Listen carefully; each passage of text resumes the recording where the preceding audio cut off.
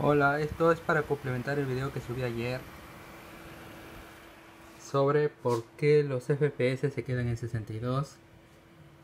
Al parecer Afterburner tiene algún error o algún bug, pero con la métrica de AMD, con la misma tarjeta gráfica, ahí se puede ver los FPS reales del juego.